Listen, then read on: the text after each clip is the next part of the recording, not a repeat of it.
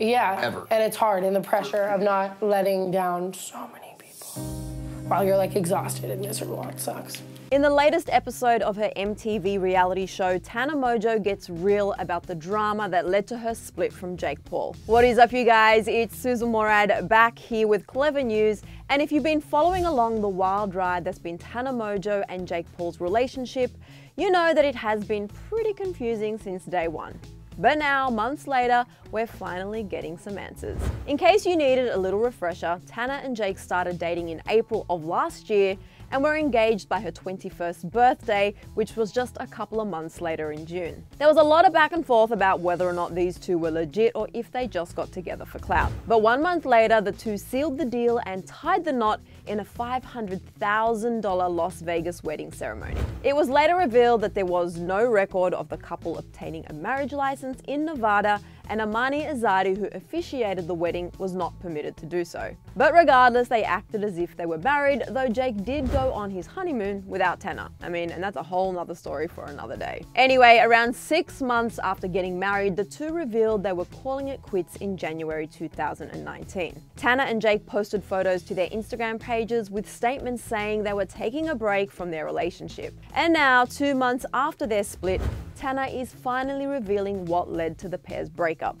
In the most recent episode of her show MTV No Filter, Tana Mongeau, we see Tana struggle with her relationship with Jake as she talks to her manager Jordan about it. I know it's very weird to be like, this is like the most successful I've ever been in my career, but like, that doesn't mean it's equivalent to like happiness. Like, my relationship is my business life which sucks. Jordan then went on to explain how Tana has been spreading herself too thin and the confusion surrounding her relationship with Jake was even taking a toll on her. Jordan said, quote, I think Tana is stressed over working with Jake and the blurred lines between their personal relationship and their business relationship. It's part of a much larger problem of Tana's life being completely out of balance. Hey, is this what you've been doing every night? What? Smoking weed? Anything to numb the pain? Honestly, yeah. Jordan also tells Tana she's going to burn out if she doesn't start prioritizing her health and that she needs to see a doctor. But I want to know what you guys think about all of this. Do you like it when your favorite YouTubers get real with you about their struggles and even their health? And do you appreciate Tana being so honest in her show? Get the conversation going right here in the comment section below. But Tana didn't only talk to her manager about her relationship with Jake.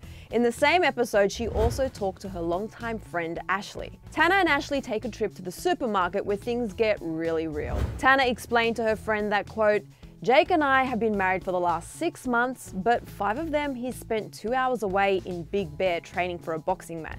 And Ashley agreed with Tana and said things have been weird since right after the wedding. Jake's in a very different place of life than he was when I fell for him, and I feel like he just doesn't have time for me anymore. Tana went on to explain that Jake has been slowly changing into a different person, and she went as far as saying she didn't even feel like she knew him anymore.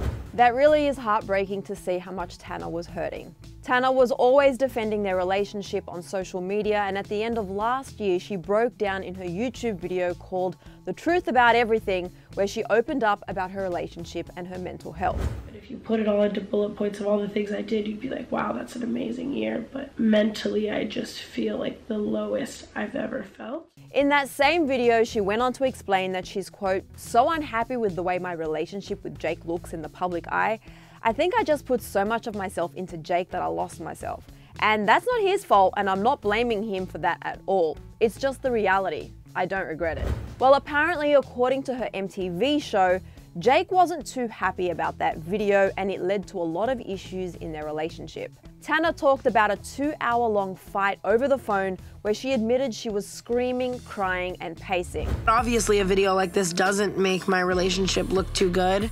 And I didn't expect to be fighting with Jake over it, but it's clear that we just don't see eye to eye on it. And finally, in the episode, Tana explains that she headed over to where Jake was training and ended things with him. She admits that while she may have regretted splitting with him for a hot second, she saw the interview where he said he fell out of love with Tana and in love with boxing. And that was it for her. And Tana's fans are taking to social media to support her after she spilled all this deeply personal tea surrounding her relationship with Jake. One fan said, quote, Thank you, God, that Jake is not around Tana anymore. thank you. Another said, I'm here for the way MTV is portraying Jake Paul because he's been a jerk to Tana. And another wrote, it's honestly like Jake Paul is five and I don't know what Tana saw in him. Do you think Tana and Jake are better off broken up? And also, what do you think about everything Tana revealed about their split? Let me know down here in the comment section below. And I know this episode of Tana's show talked a lot about her health, and we didn't get too far into that. So if you want more on the latest health scare for Tana, click right over here for another Clevver News video. And as always, make sure you subscribe and hit the bell so you never miss another entertainment news update. Thanks for watching. I'm your host, Sussan Mourad. I'll catch you later. Bye, guys.